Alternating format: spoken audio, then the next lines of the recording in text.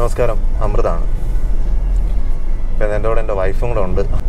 ഇപ്പം ഞങ്ങൾ ഇന്നൊരു ഒരു സ്വീറ്റ്സ് എക്സ്പ്ലോർ ചെയ്യാൻ പോവുക സ്വീറ്റ്സ് എക്സ്പ്ലോർ ചെയ്യുക എന്ന് പറഞ്ഞു കഴിഞ്ഞാൽ സാധാരണ നമ്മൾ ദീപാവലിക്ക് നോർത്ത് ഇന്ത്യൻ സ്വീറ്റ്സ് ആമസോണിൽ നിന്ന് അല്ലെങ്കിൽ ഫ്ലിപ്കാർട്ടിൽ നിന്നില്ലെന്ന് തോന്നുന്നു അല്ലേ സ്വീറ്റ്സ് ആമസോണിൽ നമ്മൾ ഓർഡർ ചെയ്ത് വരുത്താറുണ്ട്. അപ്പോൾ നമുക്ക് ആ, വളരെ ജെന്യൂൻ ആയിട്ടുള്ള നോർത്ത് ഇന്ത്യൻ ബ്രാൻഡ്സ് ഒക്കെ നമുക്ക് വീട്ടിൽ തന്നെ വന്ന് നിൽക്കും.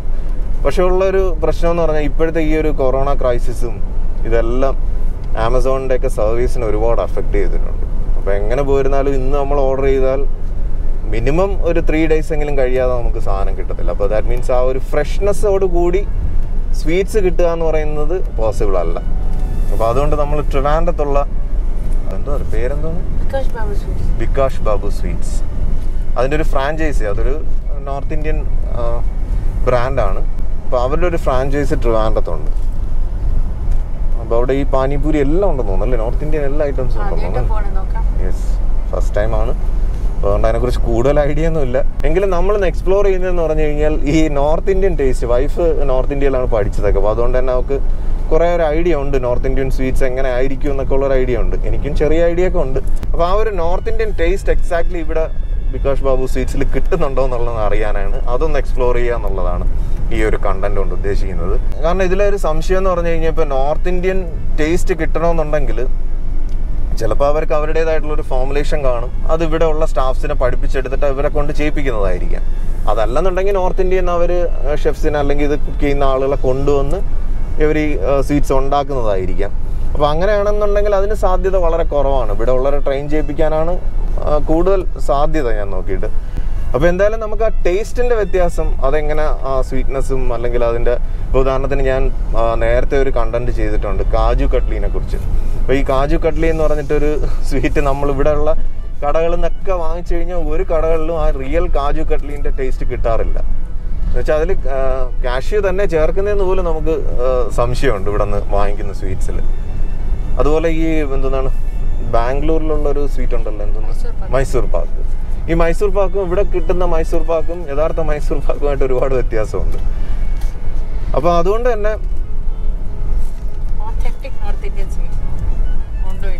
അതെ അതെ. അപ്പോൾ അതുകൊണ്ട് തന്നെ ആ ഒരു ഒരു സംശയം അതൊന്ന് ക്ലിയർ ചെയ്യുകയും വേണം.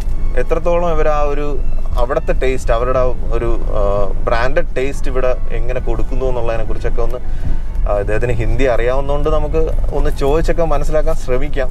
അവരതൊന്നും അവരുടെ ട്രേഡ് മാർക്കൊന്നും അവർ റിവീൽ ചെയ്യണമെന്നില്ല. പക്ഷെ എങ്കിലും എന്താണ് ഇതിന്റെ ഒരു പിന്നിലുള്ള ഒരു മേക്കിംഗ് സീക്രസി എന്താണെന്നുള്ളത് നമുക്കൊന്ന് എക്സ്പ്ലോർ ചെയ്യാൻ ശ്രമിക്കാം. അപ്പം ഞാനിപ്പോൾ ഈ വന്നുകൊണ്ടിരിക്കുന്ന കഴിഞ്ഞ ദിവസം ഞാൻ വളരെ ഗട്ടറുള്ളൊരു റോഡിലൂടെ വരും. മിക്കവാറും ഞാൻ ട്രിവാൻഡ്രത്ത് പോണ ഒരു സീഷോറിന്റെ സൈഡിൽ കൂടെ ഉള്ള ഒരു റോഡാണ്. പക്ഷേ ഇവിടെ വരുന്ന സ്ഥലത്തൊക്കെ ഒരുപാട് റോഡ് ഇങ്ങനെ മോശമായി കിടക്കുന്നതിനെ കുറിച്ച് ഞാനൊരു വീഡിയോയിൽ കണ്ടന്റിൽ പറഞ്ഞിരുന്നു. അപ്പോൾ ആ റോഡ് ഇപ്പോൾ ഏതാണ്ട് ഹാഫ് പോർഷൻ ഫുള്ള് ടാർ ചെയ്തിട്ടുണ്ട്. അത് നന്നായിട്ട് ടാർ ചെയ്തിട്ടുണ്ട്. ഇനി അപ്പോൾ അത് ഓരോ പോർഷൻ വൈസ് ഒരു സൈഡ് ടാർ ചെയ്തതിന് ശേഷം അടുത്ത സൈഡ് ടാർ ചെയ്ത് അങ്ങനെ ആയിരിക്കും അവർ ചെയ്യുന്നത്. അപ്പോൾ എന്തായാലും നമ്മൾ കുറ്റങ്ങൾ പറയുന്നതിനോടൊപ്പം തന്നെ എന്തെങ്കിലും നല്ലതും കണ്ടു കഴിഞ്ഞാൽ അല്ലെങ്കിൽ അവിടെ ഒരു മാറ്റം വന്നു കഴിഞ്ഞാൽ അത് നമ്മൾ ഷെയർ ചെയ്യണമല്ലോ. അതുകൊണ്ടാണ്. അതുപോലെ തന്നെ ട്രിവാൻഡ്രത്ത് ഞാൻ വണ്ടി സർവീസ് ചെയ്യാൻ കൊടുക്കാൻ പോയപ്പോഴത്തേക്കും വള്ളക്കടവിനടുത്തൊരു വലിയൊരു പോട്ട് ഹോൾ അത് പോട്ട് ഹോൾ എന്നൊന്നും പറഞ്ഞ പോലെ ഒരു ഒരു തുരങ്കം ഉണ്ടായിരുന്നു റോഡിൽ അതിൽ വീണപ്പോൾ അതും ഒരു ജസ്റ്റ് ഒരു ഇൻഫർമേറ്റീവ് കണ്ടന്റായിട്ട് ഞാൻ ഷെയർ ചെയ്തിരുന്നു. കാരണം അതുവഴി പോകുന്നവരെ ഒന്ന് കെയർഫുൾ ആകാൻ വേണ്ടി ചെയ്തതാണ്. കാരണം എനിക്ക് ആ കുഴിയിൽ വീണപ്പോഴത്തേക്ക് ഞാൻ എന്റെ ലൈഫിൽ അത്രയും വലിയൊരു കുഴിയിൽ വണ്ടി കൊണ്ട് വീണിട്ടില്ല. അതും പെട്ടെന്ന് ശ്രദ്ധിച്ചില്ല കുഴിയും കണ്ടില്ല. പക്ഷെ വണ്ടിക്ക് ഭാഗ്യത്തിന് ആ സ്ലോയിൽ വന്നുകൊണ്ടും പിന്നെ ഡ്രൈവറിന്റെ ഒരു ഗ്രൗണ്ട് ക്ലിയറൻസ് ഒക്കെ കൊണ്ടും അടിയൊന്നും തട്ടിയില്ല. പക്ഷെ തട്ടിയാൽ നോക്കണ്ട. ഇതിന്റെ ലോവർ ആമൊക്കെ തട്ടി പൊട്ടി പോകാനൊക്കെ ഉള്ള സാധ്യതയുണ്ട്. അപ്പോൾ അതുകൊണ്ട് തന്നെ ആ റോഡും ഞാൻ രണ്ടാമത് സർവീസിന് കൊണ്ടുപോയി രണ്ട് തവണ എനിക്ക് സർവീസ് സ്റ്റേഷനിൽ പോകേണ്ടി വന്നു. അപ്പോൾ രണ്ടാമത് ചെന്നപ്പോഴത്തേക്ക് ഇതെല്ലാം ഫിക്സ് ആക്കിയിരുന്നു. ഫിക്സ് ആക്കിയെന്ന് പറഞ്ഞാൽ ഒരു കോൺക്രീറ്റ് ചെയ്ത കുഴികളൊക്കെ അടച്ചിട്ടുണ്ടായിരുന്നു. അപ്പോൾ എന്തായാലും ഞാനത് കണ്ടന്റ് ആക്കിയത് കൊണ്ടൊന്നും അല്ലത് ശരിയാക്കിയത്. പക്ഷെ എങ്കിലും പെട്ടെന്നൊരു റിയാക്ഷൻ കണ്ടപ്പോഴത്തേക്ക് എനിക്ക് കുറച്ച് പോസിറ്റീവായിട്ട് തോന്നി. കാരണം ഇല്ലെന്നുണ്ടെങ്കിൽ അത് വലിയ അപകടങ്ങളൊക്കെ വിളിച്ചു വരത്തക്ക വിധത്തിലുള്ള കുഴി ഉണ്ടായിരുന്നു അപ്പോൾ അവിടെയും ഒരു പെട്ടെന്ന് കോൺക്രീറ്റ് ചെയ്ത് അതൊക്കെ കുഴികളൊക്കെ അങ്ങ് അടച്ചു. കോൺക്രീറ്റ് ചെയ്ത് കഴിഞ്ഞാൽ ബാക്കിയുള്ള റോഡ് ഇളകി പോകുമ്പോൾ കോൺക്രീറ്റ് മാത്രം അവിടെ ഇരിക്കും. അത് വേറൊരു വശം. പക്ഷേ എങ്കിലും അത്രയെങ്കിലും ചെയ്തതൊരു വലിയ കാര്യമാണ് നമുക്ക് റോഡിൽ യാത്ര ചെയ്യുന്നവർക്ക് അപകടങ്ങളൊക്കെ ഒഴിവാക്കാൻ അത്രയെങ്കിലും ചെയ്തത് വലിയൊരു കാര്യം തന്നെയാണ്. അപ്പോൾ അതും കൂടെ ഞാനൊന്ന് ഇതിനോടൊപ്പം ഷെയർ ചെയ്യുന്നു. കടൽ കംപ്ലീറ്റ് ഇങ്ങനെ കയറി കിടക്കുക വീടൊക്കെ നശിച്ചു പോയണ്ട വീട് ഇതോ. ടു മച്ച് അല്ലേ?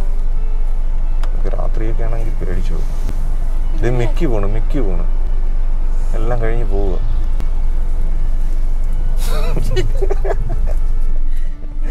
അന്തം വിട്ട് പോകുന്നു കണ്ടില്ല കണ്ടില്ല കണ്ടില്ല.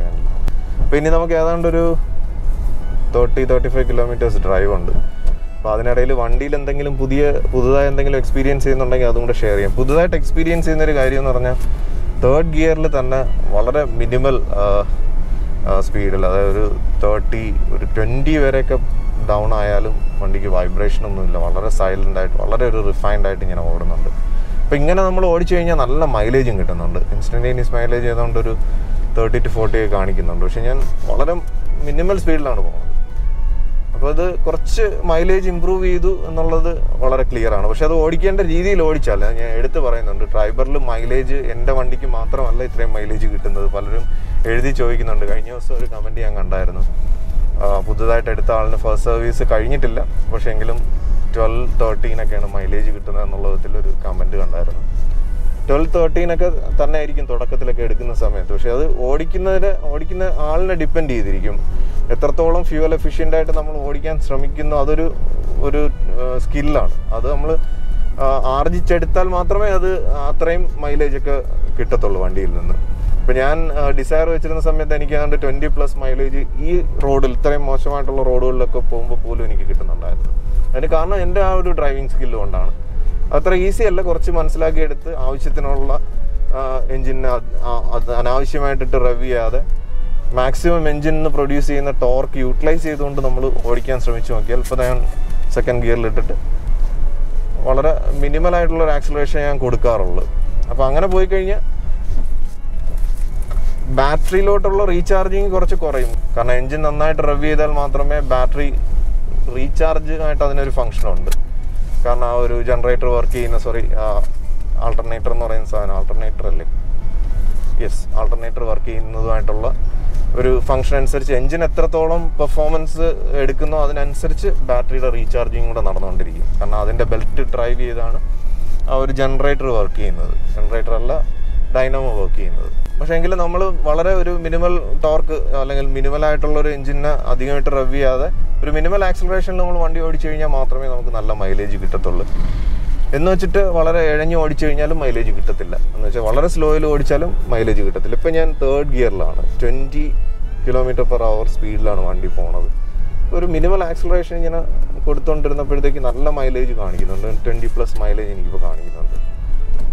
അപ്പോൾ അങ്ങനെ ഓടിച്ചാൽ മാത്രമേ മൈലേജ് കിട്ടത്തുള്ളൂ. പിന്നെ നമ്മൾ കൂടുന്നതിനനുസരിച്ച് ഇപ്പോൾ വണ്ടിയിൽ ഈ തേർഡ് സർവീസ് കഴിഞ്ഞപ്പോൾ വന്നൊരു ഒരു ചേഞ്ച് എന്ന് പറയുന്ന ആ ഒരു ഈസിയാണ് ഈസി ആയിട്ട് വണ്ടി വലിച്ചുകൊണ്ട് പോകാനുള്ള ഒരു ഇത് കാണിക്കുന്നുണ്ട്. മറ്റേത് ഒരു ചെറിയൊരു ഒരു റവും അല്ലെങ്കിൽ ഒരു എന്താ പറയുക ഒരു ഡീസൽ എഞ്ചിന്റെ പോലുള്ള ഒരു ക്യാരക്ടർ കാണിക്കും. പക്ഷെ അതിൽ നിന്നൊക്കെ കുറച്ചും കൂടെ ഒരു ഒരു ഈസി ആയിട്ട് മുന്നോട്ട് പോകാനുള്ള ഒരു ഒരു കുതിപ്പ് അതിപ്പോൾ കിട്ടുന്നുണ്ട്. അത് ആ ടോക്കിൽ നന്നായിട്ട് ഇമ്പ്രൂവ് ചെയ്യുന്നത് നന്നായിട്ട് ഡ്രൈവ് ചെയ്യുമ്പോൾ മനസ്സിലാവുന്നുണ്ട്. അതായത് ലോവർ ഗിയേഴ്സിൽ പോലും അത്യാവശ്യം എൻജിൻ വൈബ്രേഷൻ ഒന്നും ഇല്ലാതെ കട്ട് ഓഫ് ആവാതെ ഇങ്ങനെ പയ്യെ സ്ലോയിൽ പോകുന്നുണ്ട്. ഇപ്പോൾ ഞാൻ തേർഡ് ഗിയറിലാണ് ഏതാണ്ട് സിക്സ്റ്റീൻ കിലോമീറ്റർ പെർ അവർ സ്പീഡിലാണ് പോകുന്നത് സാധാരണ വണ്ടികളിലൊക്കെ വൈബ്രേറ്റ് ചെയ്യേണ്ട ടൈമായി അല്ലെങ്കിൽ ഗിയർ ഷിഫ്റ്റ് ചെയ്ത് സെക്കൻഡ് മാറ്റാൻ ഇത് കാണിക്കുന്നുണ്ട്. ഇത് വണ്ടിക്ക് അത്ര സേഫ് അല്ല. പക്ഷേ ആ ഒരു ടോർക്കിൽ വന്നൊരു ഇമ്പ്രൂവ്മെന്റ് ഞാൻ കാണിക്കുന്നു എന്നുള്ളതേ ഉള്ളൂ.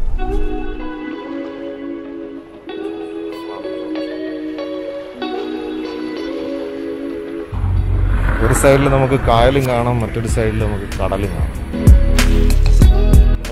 മിക്കവാറും വരുന്ന ഒരു സ്ഥലമാണ് ആ സൈഡ് അവിടെ ഒന്ന് കുറച്ച് നേരം ഇരുന്നിട്ട് കടലൊക്കെ കണ്ടൊരു അസ്തമനമൊക്കെ കണ്ടിട്ട് പോകാറുണ്ട്. അത്രയ്ക്ക് ബ്യൂട്ടിഫുള്ളാണ് നല്ല സണ്ണി ഡേയും കൂടെയാണ് ഞങ്ങൾ ഇറങ്ങുന്ന സമയത്ത് നല്ല മഴയുടെ കോളുണ്ടായിരുന്നു. അതുകൊണ്ട് ഞങ്ങൾ ടൂ വീലർ എടുക്കായിരുന്നു. ഇല്ലെങ്കിൽ ഞങ്ങളുടെ മിക്കവാറും ഉള്ള റൈഡ് എല്ലാം ടൂ വീലറിലാണ്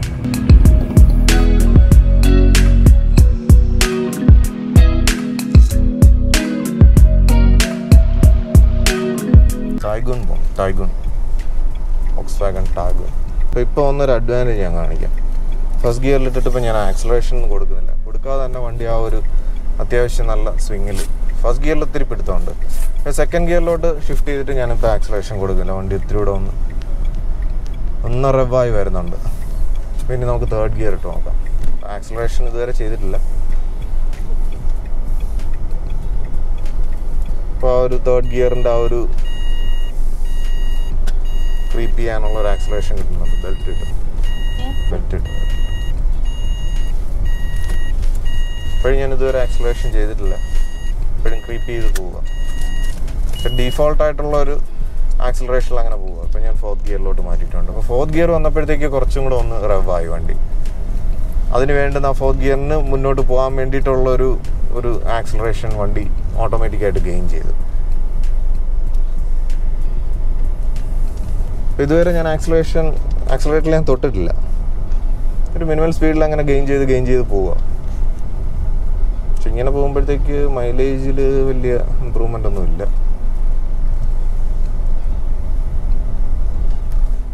പക്ഷെ ഇതാണ് ആ ഒരു ക്രീപ്പ് ഫംഗ്ഷന്റെ അഡ്വാന്റേജ് ആണ്. ഇതുവരെ ആക്സലറേഷൻ ചെയ്യാതെ തന്നെ വണ്ടി ഇങ്ങനെ നീങ്ങിക്കൊണ്ടിരിക്കും.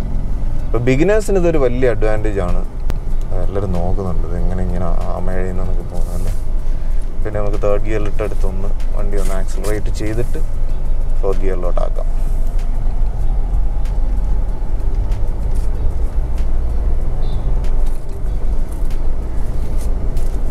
ഇനി നമുക്കിത് നല്ല റോഡാണ്. ഈ റോഡിന്റെ ഒരു അഡ്വാന്റേജ് എന്ന് പറഞ്ഞാൽ വളരെ വണ്ടികളൊക്കെ കുറവാണ്. അതുകൊണ്ട് തന്നെ നമുക്ക് ഒത്തിരി ഒന്ന് സ്പീഡിന് ഓടിക്കാൻ പറ്റുമായിരിക്കാം. നോക്കട്ടെ.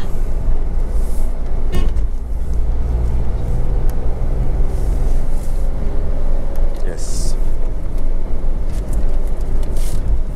അതുപോലെ ഞാൻ നേരത്തെയൊക്കെ ഫോർത്ത് ഗിയറിൽ നിന്ന് മാക്സിമം വലിയ സ്പീഡ് എടുത്ത് ഓടിക്കാൻ കഴിയുന്നില്ല എന്നുണ്ടെങ്കിൽ അല്ലെങ്കിൽ ഒരു സിക്സ്റ്റി ടു സെവന്റി ഒക്കെ ആണെന്നുണ്ടെങ്കിൽ നമ്മൾ കഴിവതും ഫോർത്ത് ഗിയറിൽ തന്നെ ഓടിയാൽ മതിയെന്ന് ഞാൻ പറയുമായിരുന്നു. പക്ഷേ ഇപ്പോൾ അതിൽ വലിയ മാർക്ഡ് ആയിട്ടുള്ള ഒരു ചേഞ്ച് ഉണ്ട്.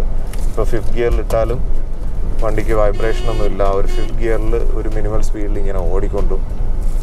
അപ്പോൾ അതുകൊണ്ട് തന്നെ നല്ല മൈലേജും കിട്ടുന്നുണ്ട്.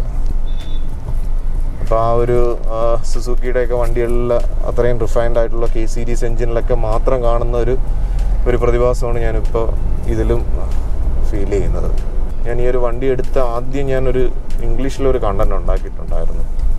അപ്പം അന്ന് ആ, ഒരു വീഡിയോയുടെ താഴെ ഒരു എനിക്ക് തോന്നുന്നു റെനോയായിട്ട് ബന്ധപ്പെട്ടിട്ടുള്ള ഒരാളാണെന്ന് തോന്നുന്നു. ഒരു കമന്റ് എഴുതിയിട്ടുണ്ടായിരുന്നു. ഞാൻ കമന്റ് നോക്കട്ടെ സെർച്ച് ചെയ്ത് കിട്ടിയ ഇതിനകത്തൊന്ന് സ്പെസിഫൈ ചെയ്ത് കാണിക്കാം.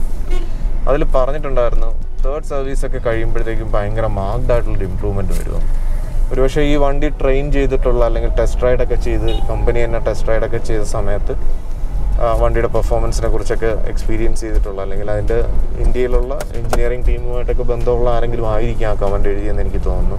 അപ്പോൾ അന്ന് എനിക്ക് തോന്നിയിരുന്നു അത്രയും മാർക്ഡ് ചേഞ്ച് ഒക്കെ വരുമോ എന്ന് എനിക്കൊരു സംശയം തോന്നിയിരുന്നു. പക്ഷെ ഇപ്പോൾ ആ ഒരു മാർക്ഡ് ചേഞ്ച് ഞാൻ ശരിക്കും എക്സ്പീരിയൻസ് ചെയ്യുക അപ്പോൾ എനിക്ക് തോന്നുന്നു ഇതിന്റെ എഞ്ചിനീയറിംഗ് സൈഡുമായിട്ട് ബന്ധമുള്ള ആരെങ്കിലും ആയിരിക്കണം ആ ഒരു കമന്റ് എഴുതിയത്. ഞാനൊന്ന് ട്രേസ് ചെയ്ത് കിട്ടിയാൽ ഞാൻ ആ ഒരു കമന്റ് ഇതിനകത്ത് കാണിക്കാം. ആ ഒരു വീഡിയോ ഏതാണ്ട് നിയർലി വൺ ലാക്ക് ക്രോസ് ചെയ്ത് വൺ ലാക്ക് ക്രോസ് ചെയ്തിട്ടില്ല നിയർലി വൺ ലാക്ക് വ്യൂവർഷിപ്പ് കിട്ടിയായിരുന്നു. അത് വേറൊരു ചാനലിലാണ് ഞാൻ ചെയ്തത്. പിന്നീടാണ് ഞാൻ ട്രൈബറുമായിട്ടുള്ള ബന്ധപ്പെട്ടിട്ട് സത്യത്തിൽ ഡ്രൈവറിൽ പല സ്ഥലങ്ങളും യാത്ര ചെയ്ത് ഇപ്പോൾ നമുക്ക് സിദ്ധമായിട്ട് എന്റെ സബ്ജക്റ്റുമായിട്ട് ബന്ധപ്പെട്ടിട്ട് ഞങ്ങൾ ഒരുപാട് യാത്രകളൊക്കെ ചെയ്ത് കുറേ വിഷ്വൽ കണ്ടൻസ് ഒക്കെ ഉണ്ടാക്കാറുണ്ട്. പല വൈദ്യന്മാരെയൊക്കെ പോയി പരിചയപ്പെട്ട് അവരെ വരുന്ന അവരുടെ ഇൻഫർമേഷൻസൊക്കെ ഒന്ന് ആർക്കൈവ് ചെയ്യാൻ ശ്രമിക്കാറുണ്ട്. പിന്നെ നമ്മുടെ സിദ്ധുമായിട്ട് ബന്ധപ്പെട്ടിട്ടുള്ള ടോപ്പിക്സൊക്കെ അതുമായിട്ട് ബന്ധപ്പെട്ടിട്ട് കുറേ സ്റ്റോറീസൊക്കെ നമ്മൾ ഇൻഫർമേഷൻസ് ആർക്കൈവ് ചെയ്യാറുണ്ട്. അപ്പോൾ അതുമായി ബന്ധപ്പെട്ടിട്ടൊരു യാത്ര ചെയ്യാനും യാത്ര ഒരുപാട് ഒരു യാത്ര സീരീസ് പോലുള്ളൊരു ഒരു ഡോക്യുമെന്ററി ഒക്കെ ചെയ്യാനൊക്കെ ഉള്ള ഒരു പ്ലാനിലായിരുന്നു ശരിക്കും ഈ ഒരു വണ്ടിയിലോട്ട് ഒന്ന് അപ്ഗ്രേഡ് ചെയ്യുന്നത് അപ്പോൾ ആ അപ്ഗ്രേഡിൽ ഈ ഒരു വണ്ടിയുമായിട്ട് അല്ലെങ്കിൽ ട്രൈബർ ഡയറീസ് എന്നുള്ള നിലയിൽ അതിങ്ങനെ കണ്ടിന്യൂ ചെയ്ത് പോകാമെന്നൊക്കെ വിചാരിച്ചിരിക്കുമ്പോഴാണ് ഈ കൊറോണ കയറി വരുന്നത് വണ്ടി എടുത്ത് എത്ര മാസമായപ്പോഴാണ് ഈ കൊറോണ ആയത് ഈ വണ്ടി എടുത്തോടാൻ കൊറോണ ആയിരുന്നു അല്ലേ വണ്ടി എടുത്ത് 2019 അല്ലേ? Yes 2019 last December. ആ December, January. ഇപ്പം ഏതാണ്ട് ത്രീ ഇയേഴ്സ് ആവുന്നല്ലേ നമ്മളിപ്പോൾ വണ്ടി എടുത്തിട്ട്. ടു ഇയേഴ്സ് ക്രോസ് ചെയ്തു യെസ് യെസ് ടു ഇയേഴ്സ് അപ്പോൾ അത് കാരണം നമ്മുടെ യെസ് യെസ് അപ്പോൾ അത് കാരണം നമ്മുടെ യാത്രാ സീരീസും എല്ലാം മുടങ്ങി. ഇനി നിങ്ങൾ ഇനിയിപ്പോൾ ഔട്ട് ഓഫ് സ്റ്റേറ്റ് പോകണമെന്നുണ്ടെങ്കിൽ രണ്ട് വാക്സിനേഷൻ കഴിയണമെന്ന് തോന്നുന്നു അല്ലേ? രണ്ട് വാക്സിനേഷനും ചെയ്തതിന്റെ സർട്ടിഫിക്കറ്റ് കാണിച്ചാലേ ഇനി ക്രോസ് ചെയ്യാൻ പറ്റുള്ളൂ എന്നാണ് എനിക്ക് എന്റെ അറിഞ്ഞത്. അത് സ്റ്റേറ്റ് എന്നുള്ള ഔട്ട് ഓഫ് സ്റ്റേറ്റ് എന്നുള്ള മാത്രമല്ല ഇനി എവിടെ യാത്ര ചെയ്യണമെന്നുണ്ടെങ്കിൽ രണ്ട് വാക്സിനേഷന്റെ സർട്ടിഫിക്കറ്റ് ഉണ്ടാവാൻ അത് നിർബന്ധമാവാൻ സാധ്യതയുണ്ട്. അപ്പോൾ അങ്ങനെ വരുമ്പോൾ അതൊക്കെ കഴിഞ്ഞിട്ട് നമ്മുടെ ആ ഒരു ഒരു ഡ്രീം സ്റ്റോറി ഒന്ന് സ്റ്റാർട്ട് ചെയ്യണമെന്നുണ്ട്. ഒരു വാൻ ലൈഫ് പോലൊന്നുമല്ല നമുക്ക് നമ്മളങ്ങനെ യാത്ര ചെയ്യാറുണ്ടായിരുന്നു. വളരെ വർഷങ്ങൾക്ക് മുമ്പ് തന്നെ ഇത്തരത്തിലൊരു വിഷ്വൽ കണ്ടന്റ് ആർക്കൈവിങ് എന്നുള്ളൊരു പ്ലാനൊക്കെ ഞങ്ങൾ വെച്ചതാണ്. പക്ഷേ യാത്ര ചെയ്യുന്ന സമയത്ത് പിന്നെ വിഷ്വൽസ് ഒക്കെ എടുത്ത് വെക്കുന്നുണ്ടെങ്കിലും അതൊക്കെ എഡിറ്റ് ചെയ്തെടുക്കാനുള്ള ഒരു സമയം അതിനൊന്നുള്ള ഒരു മെനക്കെടാനുള്ള ഒരു ഒരു മനസ്സൊന്നും അന്ന് വന്നിട്ടുണ്ടായിരുന്നില്ല. കാരണം യാത്ര ചെയ്യുമ്പോൾ യാത്ര എൻജോയ് ചെയ്യുക എന്നുള്ളത് മാത്രമേ ഉണ്ടാവൂ. പിന്നെ എന്തെങ്കിലും നല്ല മൊമെന്റ്സ് ഉണ്ട് നല്ല വിഷ്വൽ സീനറി ഒക്കെ വന്ന് കണ്ടു കഴിഞ്ഞാൽ ഞാൻ വളരെ വർഷങ്ങൾക്ക് മുമ്പ് തന്നെ യൂട്യൂബിൽ തന്നെ ഏതാണ്ട് ഇപ്പോൾ ഒരു ട്വൽവ് ഇയേഴ്സ് അടുപ്പിച്ചാവുന്നു. ഞങ്ങളുടെ സിദ്ധവുമായിട്ട് ബന്ധപ്പെട്ടൊരു ചാനൽ ഞങ്ങൾ ചെയ്യുന്നുണ്ട്.